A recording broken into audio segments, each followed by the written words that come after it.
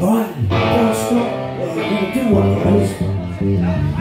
This one's called If You Want Blood. You got it.